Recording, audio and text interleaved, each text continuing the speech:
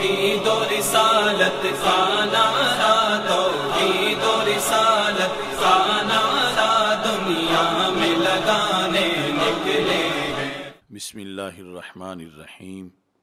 رب اشرح لی صدری ویسر لی امری۔ واحلل عقدة من لسانی یفقہ قولی۔ رضیت باللہ ربا وبالاسلام دینا وبمحمد صلی اللہ علیہ وسلم نبیا و رسولہ. اللہ اکبر اللہ اکبر اللہ اکبر. لبیک لبیک لبیک یا رسول اللہ صلی اللہ علیہ وسلم. الحمد للہ رب العالمین والصلاة والسلام علی خاتم النبیین، سید الرسل و خاتم المعصومین. وعلى آلہ واصحابہ اجمعین. اما بعد، فاعوذ باللہ من الشیطان الرجیم. بسم اللہ الرحمن الرحیم. ولا تقولوا لمن يقتل في سبيل الله اموات، بل احياء ولكن لا تشعرون. صدق الله العظيم وصدق رسوله النبي الكريم الامين ان الله وملائكته يصلون على النبي يا ايها الذين امنوا صلوا عليه وسلموا تسليما الصلاة والسلام عليك يا سيدي يا رسول الله وعلى آلك وأصحابك يا حبيب الله الصلاة والسلام عليك يا سيدي يا خاتم النبيين وعلى آلك وأصحابك يا سيدي يا خاتم المعصومين مولاي صل وسلم دائما أبدا على حبيبك خير الخلق كلهم منزه عن شريك في محاسنه فجوهر الحسن فيه غير منقسم، محمد تاج رسل الله قاتبة محمد صادق الأقوال والكلم محمد ذكره روح لأنفسنا محمد شكره فرد على رب صل وسلم دائما أبدا على حبيبك خير الخلق كلهم خدایا بحق کے بنی فاطمہ کہ برکول ایماں کنی خاتمہ. اگر دعوتم رد کنی ور قبول، منو دستو دامان آل رسول. صلی اللہ علیہ وسلم۔ اللہ تبارک و تعالی جل جلالہ و عم نوالہ و تم برہانہ و زم شانہ و جل ذکرہ و عزا اسمہ کی حمد و ثناء اور سرور کونین، خاتم النبیین والمرسلین والمعصومین۔ حضرت محمد مصطفیٰ صلی اللہ علیہ وسلم کے روح پر نور پہ درود و سلام کے بعد السلام علیکم ورحمۃ اللہ وبرکاتہ۔ رب ذوالجلال کے فضل اور توفیق سے رسول پاک صلی اللہ علیہ وسلم کی نگاہ عنایت سے تحریک لبیک یا رسول اللہ صلی اللہ علیہ وسلم اور تحریک سرات مستقیم کے زیر اہتمام مرکز سرات مستقیم تاج باغ لاہور میں انتیسویں فام دین کورس کا سلسلہ جاری ہے۔ رب ذوالجلال کے فضل و کرم سے آج ہماری گفتگو کا موضوع ہے راہ حق کے شہید۔ میری دعا ہے خالق کائنات جل جلالہ، ہم سب کو بھی منصب شہادت عطا فرمائے اور رب ذوالجلال آخری سانس تک ہمیں حق کا پرچم بلند کرنے کی توفیق عطا فرمائے۔ اللہ کے قرب کے جو مقامات ہیں، ان میں شہادت کا مرتبہ و مقام بڑا منفرد مرتبہ و مقام ہے۔ قرآن و سنت کے اندر شہادت کے فضائل کو بیان کیا گیا۔ اللہ تعالیٰ فرماتا ولا تقول لمن يقتل فی سبیل اللہ اموات کہ جو اللہ کے رستے میں جنہیں قتل کیا گیا، انہیں اموات نہ کہو، انہیں مردہ نہ کہو۔ بل احیاء بلکہ وہ زندہ ہیں۔ ولا قلعہ تشعرون، لیکن تمہیں ان کی زندگی کا شعور نہیں۔ یعنی وہ اتنا اونچا رکھتے ہیں درجہ حیات کا کہ تم اپنی عقلوں کے ذریعے ان کی حیات کی بلندیوں کو جان نہیں سکتے۔ شریعت متحرہ کے اندر شہید کی متعدد قسمیں ہیں۔ کچھ باتیں شہید میں وہ فقی مباحث کے لحاظ سے ہیں، لیکن خلاصہ کے طور پر عوام کے لحاظ سے شہید کی تین قسمیں ہیں۔ ایک ہے شہید فی دنیا و لاخرہ دنیا کے لحاظ سے بھی شہید اور آخرت کے لحاظ سے بھی شہید۔ دوسرا ہے شہید فی الآخرہ دون احکام دنیا کہ وہ آخرت کے لحاظ سے تو مرتبہ شہادت پر ہے مگر دنیا میں اس پر شہید کے احکام نافذ نہیں ہوتے۔ پہلا شہید جو دنیا کے لحاظ سے بھی شہید ہے اور آخرت کے لحاظ سے بھی شہید ہے، جو میدان جنگ میں کفار کے مقابلے میں لڑتے ہوئے شہید ہوا۔ اور دوسرا کہ جو آخرت میں تو شہید ہے، لیکن دنیا میں اس پر شہید کے احکام نافذ نہیں ہوتے۔ یہ جس طرح حدیث شریف میں بتایا گیا ہے کہ تعاون کے مرض سے جو بندہ فوت ہوتا ہے، وہ شہید ہوتا ہے۔ ایسے ہی پیٹ کے مرض سے جو فوت ہو جائے، وہ شہید ہوتا ہے۔ جو پانی میں حادثاتی طور پر ڈوب جائے یا کسی دیوار کے نیچے آ جائے، تو اس طرح یہ لوگ سارے شہید ہیں، لیکن یہ آخرت کے لحاظ سے شہید ہیں۔ یعنی اجر ان کو شہادت والا ملے گا، مگر دنیا میں جو شہید کے احکام ہیں وہ ان پہ نافذ نہیں ہوں گے۔ تیسرا ایک ہے کہ جس کو شہید فی دنیا کہا جاتا ہے، دون الاخرہ، کہ عوام اس کو شہید سمجھتے ہیں اور آخرت میں وہ شہید نہیں ہے۔ یعنی عوام سے مراد کچھ لوگ کسی غلط فہمی کی بنیاد پر۔ مثلا ایک شخص جو ہے وہ میدان جہاد میں گیا، مگر جہاد سے فرار ہو رہا تھا اور اسی دوران وہ قتل ہو گیا۔ تو اب دنیا اس کو مجاہدی سمجھتی ہے، شہید سمجھتی ہے۔ تو دنیا کے اندر اس کو شہید کہا جا رہا ہے، حالانکہ وہ آخرت کے لحاظ سے وہ شہید نہیں ہے۔ شہید کے لحاظ سے ایک اس شخص کو بھی شہید کہا گیا کہ جو مجاہدین کی جماعت کو بڑا بنانے کے لیے نکلا ساتھ یعنی اس کی نیت میں شہادت نہیں تھی، نہ وہ کافروں کو مارنا چاہتا تھا، نہ خود شہید ہونا چاہتا تھا۔ لیکن اس کی ایسی نیت تھی اس رستے میں کہ لوگ نکل رہے ہیں جہاد کے لیے، تو میں بھی ساتھ نکلوں تاکہ یہ پتہ چلے کہ بڑا لشکر کفر کے مقابلے میں جا رہا ہے۔ میں یخرجو الجہاد مکسرن سواد المجاہدین۔ مجاہدین کی جماعت کو بڑا کرنا اس کا مقصد تھا۔ لئی صلاح نیا این یک تولا او یک تالا اس کا یہ ارادہ نہیں تھا کہ وہ کسی کافر کو مارے گا یا خود مارا جائے گا۔ حاضہ ازا کوتلا شہید یہ اگر جو اس نیت سے گیا ہوا ہے کہ مجاہدین کی جماعت بڑی نظر آئے، اگر یہ قتل ہو گیا تو اسے شرعی طور پر شہید ہی کہا جائے گا، کیونکہ من کسرا سوادہ قومن فوا من ہوں جو کسی قوم کا مجمع بڑھائے وہ انہی سے شمار ہوتا ہے۔ تو یہ مجاہدین کا مجمع بڑھانے گیا تھا۔ اور اگرچہ اس کی نیت شہادت کی نہیں تھی، نہ ہی جہاد کرنے کی عمل نیت تھی، مگر یہ تھا کہ کفر پر مجاہدین کی دھاک بیٹھے اور مجاہدین کی تعداد بڑی نظر آئے۔ اس مقصد کے لیے نیا گیا تھا اور آگے شہادت ہو گئی، تو اس کو بھی شہید ہی شمار کیا جائے گا۔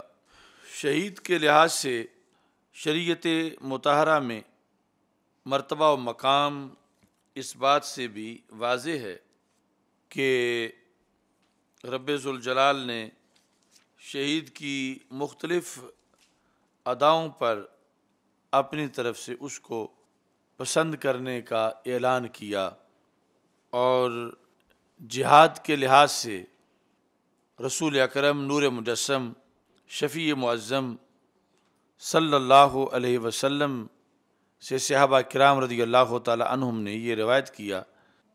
ہمارے آقا صلی اللہ علیہ وسلم فرماتے ہیں کہ لا تزالو بخیر مادام جہاد و کم خادرہ اس وقت تک تم خیر پہ رہو گے جب تک تمہارا جہاد سر سبز رہے گا یعنی جہاد زرد نہیں پڑے گا۔ مادامہ جہاد و کم خادرہ جہاد کے بارے میں تمہارا نظریہ ٹھیک رہے گا۔ تم جہاد کے بارے میں شک کے مریض نہیں بن جاؤ گے اس وقت تک تم خیر پہ رہو گے یعنی گویا کہ یہ امت چونکہ امت جہاد ہے، تو جہاد سے منسلک رہے گی، تو اس کی شان بھی برقرار رہے گی اور اس کو خیر کا وصف حاصل رہے گا۔ یہاں بھی رسول اکرم صلی اللہ علیہ وسلم نے مستقبل کے ایک فتنے کی خبر دی۔ جس فتنے کا تعلق جہاد کے ساتھ اور یہ حدیث بھی پھر ان خطبات ختم نبوت میں سے ہے کہ جو رسول پاک صلی اللہ علیہ وسلم نے مستقبل کے فتنوں کے رد کے لحاظ سے گفتگو فرمائی۔ آپ نے پہلے تو یہ ذکر کیا کہ لا تزالو بخیر مادامہ جہاد حکم خادرہ جب تک تمہارا جہاد سر سبز ہے، ہرا بھرا ہے، تو تمہیں کوئی فکر نہیں، تم خیر پر ہی ہو۔ و سیکون و فی آخر زمان پر آخر زمان میں سیکون قومن ایک قوم آئے گی۔ یہ شکون فی الجہاد وہ جہاد کے بارے میں شک کریں گے کہ پہلے تو ٹھیک تھا، اب ٹھیک نہیں ہے۔ پہلے جہاد کا زمانہ تھا، اب جہاد کا زمانہ نہیں ہے۔ اس طرح کی وہ باتیں کریں گے۔ تو سرکار فرماتے ہیں، فجاہدو فی زمانے جب ایسے مریض لوگ پیدا ہو جائیں جہاد کے لحاظ سے، تو اس زمانے میں بھی تم جہاد کرو۔ وغزو فعن الغزوہ یوم دن اخدر فرمایا، جب منکرین پیدا ہو جائیں، تو بھرپور طریقے سے جہاد کرو۔ اس وقت جہاد ہرا بھرا قرار پائے گا۔ تو یہ کئی بیمار لوگ ہیں جنہوں نے پھر جہاد کا انکار کیا۔ مثلا مرزا قادیانی نے اس طرح کی نظمیں لکھیں کہ جہاد کا دوستو چھوڑ دو خیال۔ اور ایسے ہی پرویز نے اور موجودہ دور میں غامدی جیسے جو لوگ ہیں یا جتنے اب یہ لبرل ہیں، تو جہاد سے دور بھاگتے ہیں۔ تو نبی اکرم صلی اللہ علیہ وسلم نے فرمایا سیکون و فی آخر زمان قوم یہ شکون فی الجہاد تو جہاد کے بارے میں وہ شک کریں گے یعنی یہ صورتحال بنائیں گے کہ جہاد تو اب ہو ہی نہیں سکتا۔ جہاد کے لحاظ سے یہ بھی رکاوٹ ہے، یہ بھی رکاوٹ ہے۔ تو اس طرح کر کے قوم کو مایوس کریں گے۔ تو جب کسی حقیقت کا انکار کیا جا رہا ہو، تو جس طرح کے من احیا سنتی اندہ فسادی امتی فلاح اجرمیاتی شہید، کہ جب کسی سنت کو ختم کیا جا رہا ہو تو اس وقت اس سنت کو زندہ کرنے پر سو شہیدوں کا ثواب ملتا ہے۔ تو جب خود جہاد کو ختم کیا جا رہا ہو تو اس وقت جہاد کو زندہ کرنا اس کے اندر یہ فرمایا رسول پاک صلی اللہ علیہ وسلم نے کہ یہ ہرا بھرا جہاد ہے اور جب ہرا بھرا جہاد تم برقرار رکھو گے تو تم خیر پہ رہو گے۔ حالات حاضرہ میں امت کی جو پریشانیوں میں اضافہ ہوا تو اس کا ایک بڑا سا سبب جو ہے وہ جہاد کے اندر تشکیق ہے۔ اور جہاد کے اندر جو ہے تشکیق دو طریقوں سے ہوئی۔ یعنی ایک تو وہ جو کہ باطل سے ادھار کھائے بیٹھے تھے کہ جہاد کو ٹارگٹ کریں، جہاد کو بند کروائیں، جہاد کو روکیں، جہاد کو دہشت گردی قرار دیں۔ اور جہاد کو یہ کہ اس کا وقت ایکسپائر ہو چکا ہے، یہ پرانے زمانے کی بات تھی۔ اب جہاد جائز نہیں۔ اور دوسرا وہ لوگ کہ جنہوں نے جہاد پر اعتراضات کی گنجائش لوگوں کے لیے پیش کی۔ جس طرح داعش کی طرز کے جو لوگ تھے یعنی انہوں نے اس طرح کی صورتحال اپنائی کہ جو شریعت میں جس کو جہاد کہا ہی نہیں جاتا، لیکن انہوں نے اس پر جہاد کا لیبل لگایا۔ انہوں نے اعلانیہ دہشت گردی کو غنڈہ گردی کو جہاد کہا۔ اور دوسری طرف سے وہ لوگ تیار بیٹھے تھے کہ جنہیں کوئی ثبوت ملے، دلیل ملے کہ جس کی بنیاد پر وہ کہیں کہ دہشت گردی اور جہاد ایک ہی چیز ہے۔ تو اس طرح یہ دو طبقے مل کر انہوں نے نقصان پہنچایا اور بلاد اسلامیہ میں یہاں تک کہ جہاد کا لفظ بولنا مشکل ہو گیا۔ جہاد کے خطبے بند ہو گئے۔ جہاد کی ٹریننگ تو ویسے دور کا مسئلہ ہے۔ یعنی اس حد تک جہاد کے نام پر کچھ لوگوں نے فساد کیا کہ جو دوسری طرف کے لوگ تھے، مخالفین، انہوں نے اس کو دکھا کر اپنا جو ہے وہ مقصد پورا کیا۔ تو ہم اس لیے پھر بھی گاہے گاہے جہاد کی بات کرتے ہیں کہ ہمارے آقا صلی اللہ علیہ وسلم کا فرمان ہے کہ الجہاد و مادن الا یوم القیامہ، کہ جہاد قیامت تک جاری رہے گا۔ یعنی جہاد اب جس طرح آج کسی کو اختیار نہیں کہ وہ نماز کینسل کر دے کہ کافی پڑی گئی ہے، اب نماز کا زمانہ نہیں رہا، معاذ اللہ۔ یا کسی کو اختیار نہیں کہ کہے روزے کافی صدیاں رکھ لیے مسلمانوں نے، اب روزے رکھنے کا زمانہ نہیں۔ تو امت ڈٹی ہوئی ہے، اگرچہ سارے پڑھیں یا نہ پڑھیں، لیکن نماز کا امت پر لازم ہونا، اس پر ساری امت قائم ہے اور روزے کا اور اس طرح، تو جس طرح نماز روزہ لازم ہے، ایسے ہی جہاد بھی لازم ہے۔ اور رسول پاک صلی اللہ علیہ وسلم نے فرمایا کہ اس کو کسی جائر کا جور ختم نہیں کر سکتا۔ کوئی ظالم بادشاہ ہو یا عادل نہ عادل کو حق ہے کہ وہ کہے، چونکہ میں پارسا بڑا ہوں اور میں دین بہت جانتا ہوں، لیکن اب حالات نہیں جہاد کے، تو اس کی بات بھی نہیں مانی جائے گی۔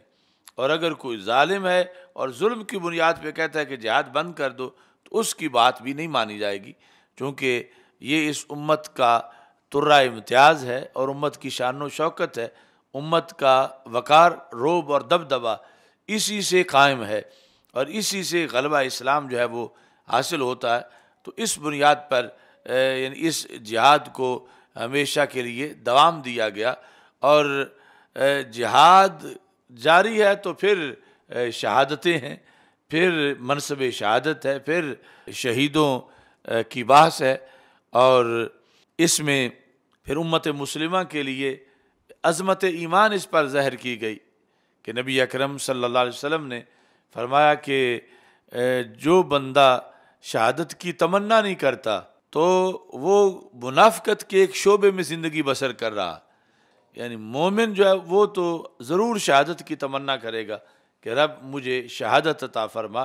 تو اس بنیاد پر یعنی منافقت سے برات کے لیے اور منافقت سے دوری کے لیے، منافقت سے چھٹکارے کے لیے اور خالص ایمان جو ہے، اس کو برقرار رکھنے کے لیے یہ ضروری ہے کہ بندہ جو ہے وہ پکی نیت کرے شہادت کی یعنی ایسی نیت کہ اس کی زندگی اس کے منافی نہ ہو یعنی محض دکھاوے کی نیت نہ ہو، بلکہ حقیقت میں اس کے اندر، اس کے دل میں جہاد کا اور شہادت کا جو ہے وہ شوق موجود ہو۔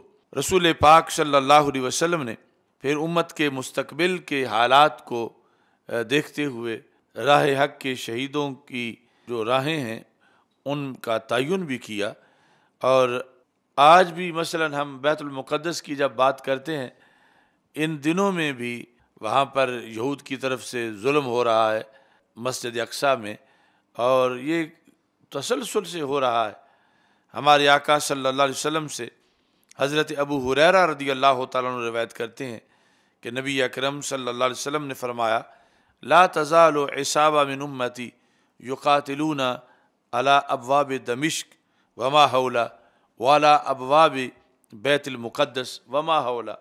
فرمایا کہ ہمیشہ ایک جماعت میری امت کی دو جگہ پہ جہاد کرتی رہے گی۔ ایک تو دمشق کے دروازوں پر، جو ملک شام کا دارالحکومت ہے، اور اس کے ارد گرد اور دوسرا علا ابواب بیت المقدس وما حولہ بیت المقدس کے جو دروازے ہیں اور اس کے ارد گرد کے علاقے میں ہمیشہ ایک جماعت جو ہے وہ جہاد کرتی رہے گی۔ لا یدرحم من خاض لہم انہیں نقصان نہیں پہنچائے گا ان پہ حملہ کرنے والا۔ ظاہرین علی الحق، یہ لوگ حق پر غالب رہیں گے یعنی حق کے لحاظ سے یہ حق کو غالب کرنے کا کردار ادا کرتے رہیں گے۔ کب تک؟ الا ان تقوم یہاں تک کہ قیامت آ جائے گی۔ تو اس بنیاد پر یعنی آج بھی اللہ کے فضل سے امت کے کچھ افراد اس جہاد میں مصروف ہیں اور اس میں بھی لا یدرحم من خاص لہم یعنی اگرچہ ان کی شہادتیں بھی ہوں گی، زخمی بھی ہوں گے، لیکن ان کی جو برہان ہے وہ ڈیمیج نہیں ہوگی۔ اپنی دلیل جو ہے ان کی، اس دلیل کو کوئی توڑ نہیں سکے گا۔ اس دلیل کو نقصان نہیں پہنچے گا۔ اور اس طرح کر کے راہ جہاد کے اندر یہ امت ہمیشہ اپنا کردار ادا کرتی رہے گی۔ اور اسی میں ہی امت کے لیے رب ذوالجلال نے یہ اعزاز رکھا۔ کہ من تقلد سیفن فی سبیل اللہ قلدہ اللہ وشاہین من الجنہ، کہ جس بندے نے تلوار گلے میں لٹکائی، راہ جہاد میں نکلا ہے، تو اس میں یعنی ہاتھ کئی طرح کے اسلحہ میں مصروف ہوتے ہیں، اور پھر لڑتے ہوئے بھی بہت سی ایسے مقامات ہوتے ہیں، تو تلوار جو ہے وہ گلے میں لٹکائی جاتی ہے، حمائل میں تو جس نے تلوار گلے میں لٹکائی قلّہ اللہ و شاہین من الجنہ، اللہ اس کو جنت سے دو زیور پہنائے گا۔ اور یہ کہ ان اللہ یباہی ملائکتہ بے سیف الغازی و رم ہے ہی، کہ رب ذوالجلال رب ہو کے فرشتوں کے سامنے فخر کرتا ہے غازی کی تلوار پر۔ بے سیف الغازی و رم ہی، غازی کے نیزے پر۔ یعنی جب غازی سے مراد ہے جہاد کرنے والا مجاہد، کہ جہاد کرنے والا مجاہد جب ہاتھ میں تلوار پکڑے ہے یا نیزہ پکڑے ہوئے ہے، تو رب ذوالجلال فرشتوں کو دکھا کر فخر کرتا ہے۔ اور اسی کے کیا مقام پھر یہ آج والا، بعد والا اسلحہ ہے کہ خواہ وہ کوئی ریفل ہو یا کوئی میزائل ہو، کوئی بم ہو جو کفر کے مقابلے میں چلانے کے لیے کسی مجاہد نے وہ پکڑا ہے تو اللہ اس پہ فخر کرتا ہے اور یہ ہے یعنی جہاد کی شان، جو جہاد کائنات میں امن کے قیام کے لیے ہوتا ہے، فساد کے خاتمے کے لیے ہوتا ہے۔ یعنی دوسری طرف وہ کاروائیاں کے جو دہشت گردی ہیں یا فساد ہیں، اس کو شریعت نے مسترد کیا ہے۔ اور یہاں تک کہ مسلم آبادیوں میں جو اسلحہ لے کر چلے لوگوں کو ڈرانے کے لیے اس کی مذمت کی گئی ہے اور یہ جو دین حق کی سربلندی کے لیے جس نے گلے میں تلوار لٹکائی یا ہاتھ میں تلوار پکڑی تو اللہ فخر کر رہا ہے فرشتوں کو دکھا دکھا کے اس بندے کے اوپر۔ تو ہمیں یہ جو دونوں طرف کی صورتحال ہے، اس کو پیش نظر رکھنا ہے۔ نہ تو وہ فکر صحیح ہے جس کو داعش نے اپنایا اور جہاد پر اعتراض کرنے والوں کو موقع دیا کہ وہ اپنی غلط بات کی دلیل ان کے عمل سے پیش کریں۔ اور دوسرا ٹولہ جو جو جہاد کا منکر ہے یا تشکیق پیدا کرتا ہے، اس سے بھی کوسوں دور رہنے کی ضرورت ہے، چونکہ وہ لوگ آج آلات جہاد سے بھی نفرت کرتے نظر آتے ہیں۔ آلات جہاد پر کو بھی متنازع بناتے ہیں کہ یہ نہیں ہونا چاہیے۔ یہ جس وقت پہلے پہلے معاذ اللہ خاکوں کا سلسلہ شروع ہوا تو ہم نے وہ جو فلیکس شاہراہوں پہ لگوائے، جس میں قلم کے ساتھ تلوار کی تصویر تھی، اس پر بھی ہمارے کچھ نام یاد روشن خیالوں نے اعتراض کیا، یہ مناجی وغیرہ سوچ کے تھے کہ قلم تو ٹھیک ہے، لیکن تلوار کی تصویر سیکھ نہیں ہونی۔ تلوار نہیں ہونی چاہیے۔ یعنی ادھر اللہ فخر کرتا ہے مجاہد کی تلوار پر اور ان لوگوں کو تلوار کی تصویر سے بھی شرم آ رہی ہے۔ اور یہ یعنی جو دو انتہائیں ہیں، ان کے رہنے والے ہیں۔ ایک وہ کہ جو بڑھتے بڑھتے داعش جیسی صورتحال اختیار کر گئے۔ اور دوسرے یہ کہ جن کو تلوار کی تصویر سے بھی شرم آتی ہے۔ یعنی اس قدر جہاد سے دور بھاگنے والا ٹولہ ہے۔ تو ہمارے لیے سرات مستقیم ہے کہ جس کے اندر الجہاد و معدن الا یوم القیامہ، کہ باقی سارے جہاد بھی ہیں، لیکن اس حدیث میں جو الجہاد و معدن الا یوم القیامہ ہے، یہ کتال بالسیف ہے، جہاد بالسیف ہے، اور عملاً جس کے نتیجے میں اسلام جو ہے وہ غالب آتا ہے۔ وہ سبق رسول پاک صلی اللہ علیہ وسلم نے اپنی امت کو قیامت تک کے لیے عطا کیا ہے۔ ہمارے آقا صلی اللہ علیہ وسلم کے صحابہ کی ایسی تربیت ہوئی کہ حضرت ابو دجانہ رضی اللہ تعالیٰ عنہ جو مشہور صحابی ہیں، ہمارے آقا صلی اللہ علیہ وسلم نے ہاتھ میں تلوار پکڑی ہوئی تھی عہد کے دن۔ تو فرمایا میں یا خود حاضر سیف بے حق کے ہی؟ کون ہے جو مجھ سے یہ تلوار پکڑے اور پھر اس تلوار کا حق ادا کرے؟ فقام الیہ رجال. تو کئی لوگ آگے آئے پکڑنے کے لیے. فم سا انہم. تو رسول پاک صلی اللہ علیہ وسلم نے دینے سے انکار کر دیا. حتیٰ کام ابو دجانہ. یہاں تک کہ حضرت ابو دجانہ رضی اللہ تعالیٰ عنہ اٹھ کے کھڑے ہوئے اور سوال کیا. وما حق کو یا رسول اللہ صلی اللہ علیہ وسلم۔ آپ مجھے پہلے یہ بتائیں کہ اس کا حق ہے کیا؟ کہ آپ نے فرمایا ہے کہ جس نے جو اس تلوار کا حق ادا کرے گا وہ پکڑے۔ تو اس کا کیا حق ہے؟ تو نبی اکرم صلی اللہ علیہ وسلم نے یعنی عہد کے میدان میں تلوار کا حق بتایا۔ فرمایا کہ این ید بھی فی وجہ لدو حتیٰ ینہنیا اس تلوار کا حق یہ ہے کہ جس نے پکڑنی ہے، اس نے دشمن کے منہ پہ مارنی ہے۔ فی وجہ لدوے دشمن کے چہرے پہ مارنی ہے۔ کتنی بار اور کتنے لوگوں کو حتیٰ ینہنیا یہاں تک یہ لوہے کی تلوار ٹیڑھی ہو جائے۔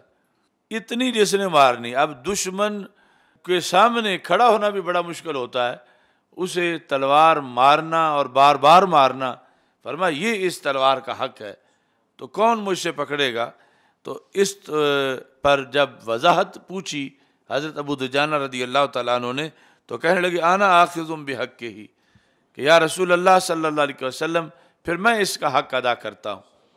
فعطاہ ایاہو تو رسول پاک صلی اللہ علیہ وسلم نے وہ تلوار حضرت ابو دجانہ رضی اللہ تعالی عنہ کو عطا کی۔ اور چشم فلک نے دیکھا کہ انہوں نے پھر اس تلوار کا حق بھی ادا کیا۔ اور یہ وہی ابو دجانہ ہیں کہ جنہوں نے پھر دشمنوں کے سامنے ٹہل کر یہ تلوار پکڑ کے یہ اشار پڑے ان الزی آہدانی خلیلی ونہنو بصف لدن نخیلی اللہ اکومت دہر فلقیولی ادرب بسیف اللہ ور رسولی کہا کہ میں ہی وہ شخص ہوں کہ مجھ سے میرے محبوب نے عہد لیا ہے۔ کھجوروں کے پاس کھڑے ہو کر کیا عہد ہے؟ اللہ اکومت دہر فلقیولی کہ میں زندگی بھر کسی جنگ میں بھی آخری صف میں کھڑا نہیں ہوں گا۔ قیول جو ہے، وہ ہے یعنی صفوں کے آخر میں کھڑا ہونا، جنگ کی جو صفیں ہیں میں میں یہ عہد کر چکا ہوں، اللہ حکومت دہرا فلقیولی کہ کبھی بھی زندگی بھر جب تک میں زندہ ہوں، میں آخری صف میں کھڑا نہیں ہوں گا۔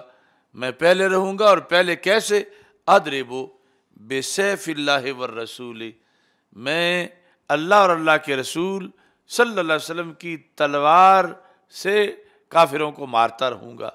اس انداز میں میں یہ عہد کر چکا ہوں۔ رسول اکرم، نور مجسم، شفیع معظم صلی اللہ علیہ وسلم کے صحابہ کرام رضی اللہ تعالی عنہم تحفظ ناموس رسالت کے لیے الائے دین کے لیے بار بار انہوں نے ایسے مقامات پر اپنی محبتوں کا اظہار کیا، جس طرح کہ عمرہ قضاء کے موقع پر یعنی جب ہدیبیہ سے واپسی ہو گئی اور پھر اگلے سال عمرہ جو ہے وہ قضا کیا گیا۔ تو اس موقع پر رسول اکرم صلی اللہ علیہ وسلم جب عمرہ کرنے کے لیے تشریف لائے تو حضرت عبداللہ بن رواحہ رضی اللہ تعالیٰ عنہ نبی اکرم صلی اللہ علیہ وسلم کی سواری کے آگے آگے تھے۔ سن نبی داود میں اور مواہب الدنیا میں اور دیگر کتابوں میں مختلف طریقوں سے ان اشعار کا تذکرہ ہے۔ مثلا یہ مواہب اور زرکانی کے اندر یہ ہے کہ جامع ترمزی ترمزی نے شمائل میں بھی ذکر کیا ہے۔ کہ انس رضی اللہ تعالیٰ عنہ کہتے ہیں داخلہ مکہ تافی عمرات القضا وبن و رواح یمشی بین یدئی ہے کہ رسول اکرم صلی اللہ علیہ وسلم جس وقت داخل ہوئے تو حضرت عبداللہ بن رواح رضی اللہ تعالیٰ عنہ آگے آگے چل رہے تھے، تلوار ہاتھ میں تھی اور کہہ رہے تھے، خلو بن الکفار ان سبیلی، الیوم ندرب کم اللہ تنزیلی دربئی یوزیل الحام ام مکیلی و یوزہر الخلیل ان خلیلی، خلو بن الکفار ان سبیلی۔ اے کافر زادو، ہٹ جاؤ پیچھے۔ رسول اکرم صلی اللہ علیہ وسلم کے رستے سے، الیوم ندرب کم اللہ تنزیلی، آج ہم واپس نہیں جائیں گے۔ جو رستہ روکے گا، ہم اسے ماریں گے۔ الیوم ندربکم اللہ تنزیلی۔ تنزیلی کے جو ضمیر ہے، اس میں دو احتمال ہیں۔ راجے یہ ہے کہ تنزیلی کی ضمیر رسول پاک صلی اللہ علیہ وسلم کی طرف راجے ہے۔ کہ رسول پاک صلی اللہ علیہ وسلم کی آمد پر آج اگر تم نے کوئی گڑبڑ کی، رستہ روکنے کی، تو پھر ہم تجھے ماریں گے۔ دوسرا یہ ہے کہ یہ راجے ہے قرآن کی طرف، کہ قرآن کے حکم پر، قرآن کے فیصلوں پر اگر تم نے آج کوئی گڑبڑ کی، تو ہم حکم قرآن سے تمہارے خلاف جو ہے وہ جہاد کریں گے۔ دربن یہ جو ندرب و کم ہے، ہم تجھے ماریں گے، اس سے مفول مطلق ہے۔ کیسا مارنا؟ آہستہ نہیں ماریں گے۔ ہم تجھے ماریں گے یوزیل الحام ام مکیلی، جو گردن سے کھوپڑی کو جدا کر دے۔ اس انداز میں آج ہم تجھے ماریں گے۔ وہ یو زیر الخلیل ان خلیلی۔ ہم ایسے ماریں گے کہ آج دوست کو دوست بھول جائے۔ یعنی ہماری آج کی جو کاروائی ہے یہ بلا دے گی تمہیں سب کچھ۔ تم بھول جاؤ گے اپنے پیاروں کو۔ اگر تم نے آج ہمارے رسول صلی اللہ علیہ وسلم کا رستہ روکنے کی کوشش کی۔ مصنف عبد الرزاق کے اندر یہ اشعار اس طرح ہیں۔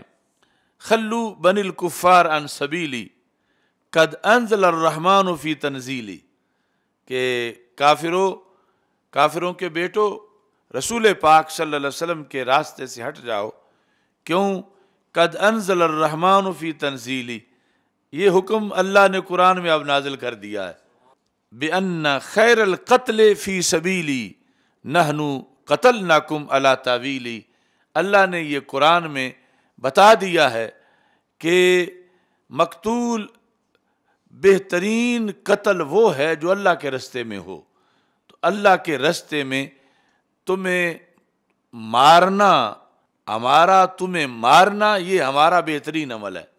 اور تمہارے ہاتھوں اللہ کے رستے میں شہید ہو جانا، یہ ہمارا بہترین عمل ہے۔ کما قتل ناکم اللہ تنزیلی تو آج ہم جس طرح پہلے تمہارے خلاف جہاد کر چکے ہیں، بدر عہد خندق وغیرہ میں، تو ایسے ہی ہم تمہارے خلاف جو ہیں وہ یہ جہاد کرنے والے ہیں۔ یہ اشعار جو ہیں، دوسرے مقام پر ان میں الفاظ یہ بھی ہیں، خلو بن الکفار ان سبیلی، خلو و کل الخیر فی رسولی، یا رب انی مومن بقیلی، عارف حق اللہ فی قبولی نہنو قتل ناکم اللہ تعویلی، کما قتل نہ کم اللہ تنزیلی، دربنا یوزیر الحام ام مقیلی۔ و یوزیر الخلیل ان خلیلی اس میں یہ ہے کہ اے کفار کے بیٹے، رسول پاک صلی اللہ علیہ وسلم کے رستے سے ہٹ جاؤ۔ کیوں؟ پیچھے ہٹ جاؤ۔ وہ کل الخیر فی رسولی ساری بلائی اللہ کے رسول کے پاس ہے۔ اور اس طرح کر کے یعنی یہ ہمیشہ صحابہ کرام رضی اللہ تعالی عنہم کا ترہ امتیاز رہا کہ جس راہ جہاد پر رسول پاک صلی اللہ علیہ وسلم نے ان کو لگایا، وہ اس پر ڈٹے رہے اور پھر شہادت کے وقت عجیب انداز میں انہوں نے اپنے عشق کی جو ہے، اس کی نمائندگی بھی کی۔ مثلا ایک عظیم عاشق نے یہ شعر پڑھا، کہتے ہیں، تنہا یا حور الجنان انا لافی کا قاتلنا ولا قتلنا. یعنی یہ جنت کا منظر سامنے رکھ کے کہہ رہے ہیں کہ جب ہم جنت میں جائیں گے تو حوریں سامنے سے آئیں گی. تو میں کہوں گا، تنہا یا حور الجنان انا حوروں تم سائڈ پہ ہو جاؤ سائڈ پہ ہو جاؤ. کیوں؟ لافی کا قاتلنا ولا قتلنا. ہم نے تمہارے لیے تو جہاد نہیں کیا تھا. لافی کا قاتلنا ولا قتلنا. ہم نے جو مقاتلہ کیا یا کسی کو کافر کو مارا تو تمہارے حصول کے لیے نہیں مارا۔ تنہا یا حور الجنان انا تم سائڈ پہ ہو جاؤ۔ یعنی ہم نے غلبہ اسلام کے لیے جانے دی غلبہ اسلام کے لیے کافروں کو مارا۔ اور اللہ کی رضا کی خاطر ہم نے یہ سارا کردار ادا کیا۔ اسی رستے میں وہ حضرت سعد بن ربی رضی اللہ تعالی عنہ کا مشہور خطبہ ہے، مشہور خط ہے، جو آپ نے وہ لفظ بولے میدان عہد کے اندر، جس کو جیسا کہ زہبی نے سیر علام نوبلا میں لکھا، امام بہکی نے دلائل نبوہ میں لکھا، اور اس میں یہ ہے کہ حضرت زید رضی اللہ تعالیٰ عنہ، زید بن ثابت، وہ کہتے ہیں کہ مجھے رسول پاک صلی اللہ علیہ وسلم نے بھیجا عہد کے دن، اطلب سعد بن الربی کہ میں حضرت سعد بن ربی کو تلاش کروں۔ فقال علی، ان رعیتہ فکرے ہو منی السلام۔ اگر تم ان کو خیریت سے پالو، تو پھر انہیں تم میرا سلام دینا۔ وک اللہ یقول اللہ کا رسول اللہ صلی اللہ علیہ وسلم کئی فتح جدو کا اور انہیں کہنا کہ اللہ کے رسول صلی اللہ علیہ وسلم فرما رہے ہیں کہ تمہارا حال کیا ہے؟ کئی فتح جدو کا مطلب جو عمومی صورتحال تھی، جو کہ تم پاؤ گے تو ظاہر ہے وہ زخمی حالت میں تجھے ملیں گے۔ اگر زندہ مل گئے تو زخمی ملیں گے، تو ان کو اس سے سہارا مل جائے گا۔ انہیں پوچھنا کہ اللہ کے رسول صلی اللہ علیہ وسلم پوچھ رہے ہیں، کئی فتح جی جدوں کا کہ تم اپنے آپ کو کیسا محسوس کر رہے ہو؟ تمہارا حال کیا ہے؟ تو حضرت زید کہتے ہیں فتف تو بین القتلہ۔ تو میں عہد کے شہیدوں کے درمیان پھر رہا تھا۔ ہر طرف شہید ان کے جسم پڑے تھے۔ میں ڈھونڈ رہا تھا کہ کہیں حضرت سعد بن ربی زندہ مل جائیں۔ تو میں انہیں رسول پاک صلی اللہ علیہ وسلم کا سلام دے دوں۔ کہتے ہیں فاصب تو ہوں اتنے میں میں انہیں نے ان کو پا لیا۔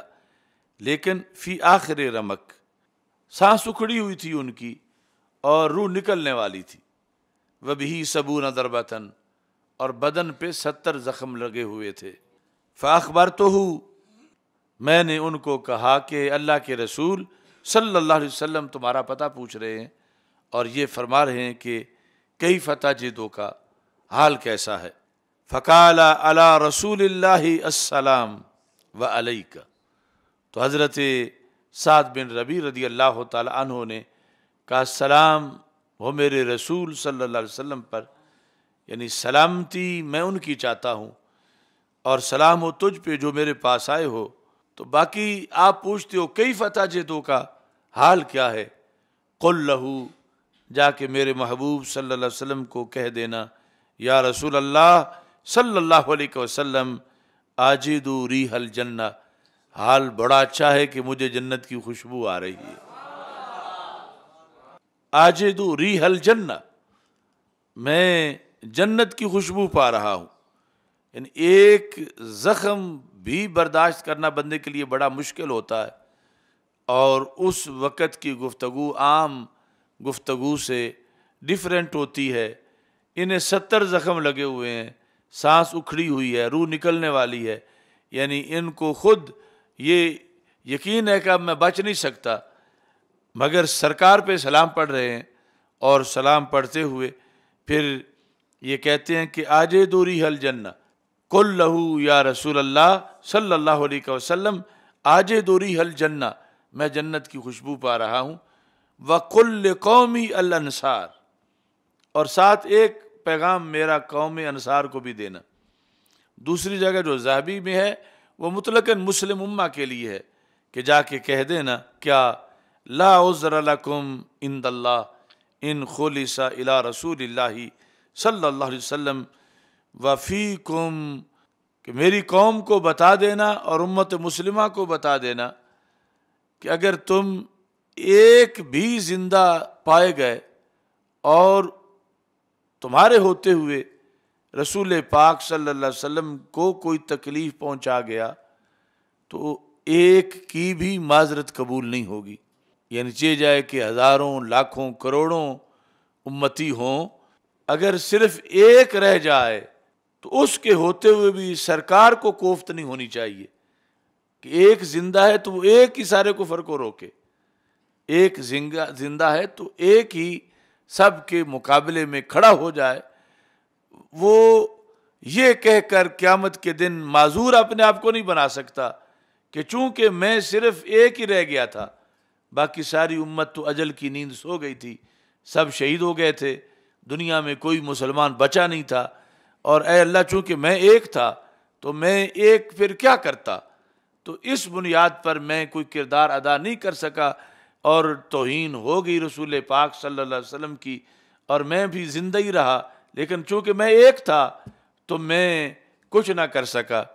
تو حضرت سعد بن ربی رضی اللہ تعالیٰ عنہ نے کہا، ایسی صورتحال کی یہ معذرت اللہ قبول نہیں کرے گا کہ تو ایک تو تھا، تیرے ہوتے ہوئے ایسا کیوں ہوا؟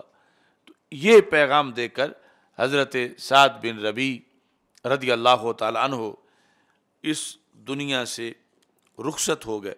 تو اس طرح اس مقصد کو لے کر امت چلتی رہی اور حسن یوسف پہ کٹی، مصر میں انگشت زنا، سر کٹاتے ہیں تیرے نام پہ مردان عرب۔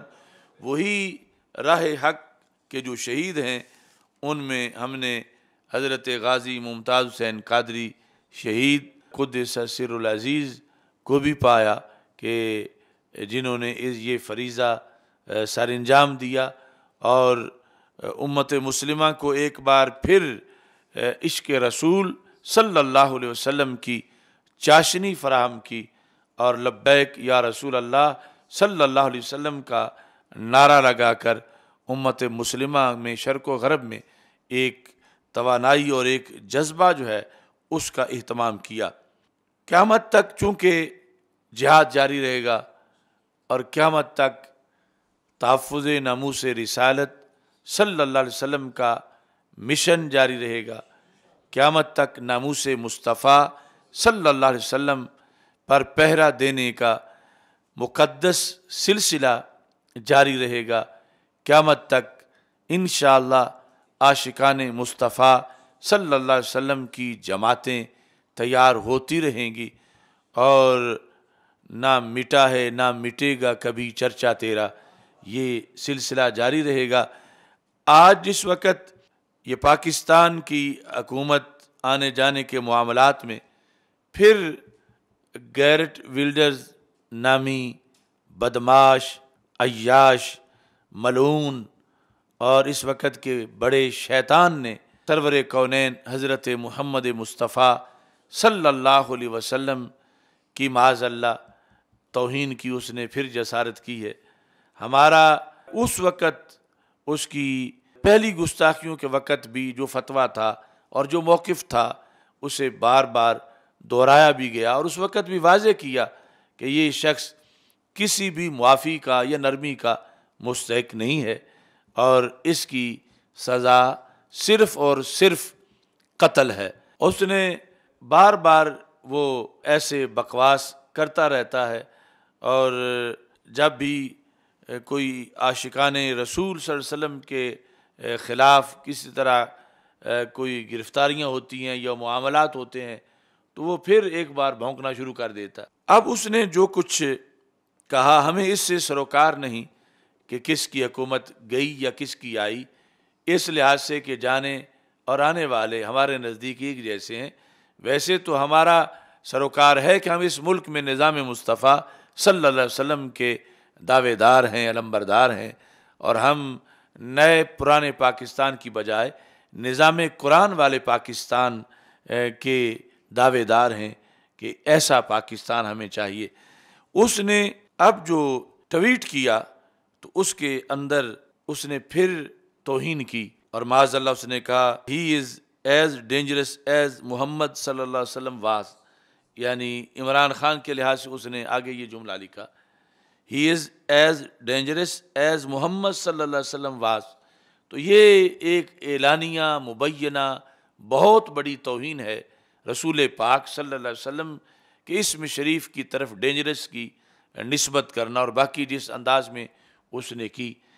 تو اب صورتحال یہ ہے کہ وہ شیطان یہ توہین کر کے پہلے کی طرح اپنے آرام میں ہے، سکون میں ہے اور اسے کوئی پوچھنے والا نہیں۔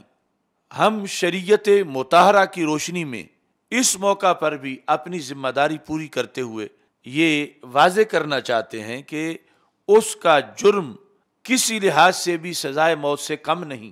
وہ واجب القتل ہے اور امت مسلمہ پر فرض ہے کہ اسے یہ سزا دے اور اس سلسلہ میں ہم جس ملک میں رہتے ہیں، اس میں جو حکومت ہے، ہمارا اس سے اولین یہ مطالبہ ہے کہ یہ اس سلسلہ کے اندر فوری طور پر اپنا موقف دے۔ ابھی تک یہ گونگے بن کے بیٹھے ہوئے ہیں اور موقف وہ دے جو شریعت کا مطالبہ ہے، جو شری فتویٰ ہے۔ اس کے مطابق یعنی فوری طور پر سخت ترین موقف اختیار کرتے ہوئے وہ ہالینڈ سے اس کی گرفتاری کا اور امت مسلمہ کے سپرد کرنے کا مطالبہ کریں تاکہ وہ تو شروع سے ہی مستحق نہیں تھا کہ اسے کوئی گنجائش دی جاتی، لیکن جو لوگ قائل تھے کہ اسے کوئی چھوٹ دینی چاہیے، یہ باز آ جائے گا، یہ نرمی کرو چھوڑ جائے گا، اگرچہ یہ ساری غلط باتیں تھیں، لیکن پھر بھی یہ سارے مراحل گزر گئے اور وہ پھر بھونک رہا ہے، تو اسے ہرگز منصبہ نبی فقتلو ہو صلی اللہ علیہ وسلم کی آواز کے تابع اور حکم کے تابع امت مسلمہ کے سپرد کیا جانا چاہیے تاکہ امت مسلمہ اپنے ہاتھوں سے اسے سزا دے۔ اور اس میں اولین حق سعودی حکومت کا بنتا ہے کہ وہ اس فتوے کو اپنی طرف سے وہ بیان کریں، او آئی سی اس کو بیان کرے۔ مسلم امہ کی مختلف تنظیم فورم جو ہیں، ان کی طرف سے یہ آواز بلند کی جائے۔ ہم تحریک لبیک یا رسول اللہ صلی اللہ علیہ وسلم اور تحریک سرات مستقیم کی طرف سے عاشقان رسول صلی اللہ علیہ وسلم جو پوری دنیا میں پھیلے ہوئے ہیں، ان کی طرف سے ان کی آواز بن کر یہ پیغام دے رہے ہیں کہ گیرٹ ولڈر واجب القتل ہے اور اس کے لیے کسی لحاظ سے کوئی معافی نہیں ہے اور حکومت وقت اپنا فرض منصبی سمجھتے ہوئے فوراً اس پر عمل کرے، ورنہ پھر وہی صورتحال ہوگی کہ چونکہ عاشقان رسول صلی اللہ علیہ وسلم ہر چیز برداشت کر سکتے ہیں، مگر توہین رسالت برداشت نہیں کر سکتے۔ اگرچہ یہ مہنگائی کے لیے باہر نہیں نکلتے، یہ برداشت کر لیتے ہیں، گیس کے لیے نہیں نکلتے، بجلی کے لیے نہیں نکلتے۔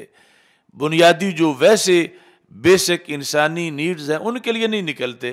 لیکن یہ جو معاملہ ہے، اس کے لیے انہیں نہ روٹی کی ضرورت ہے، نہ پانی کی ضرورت ہے۔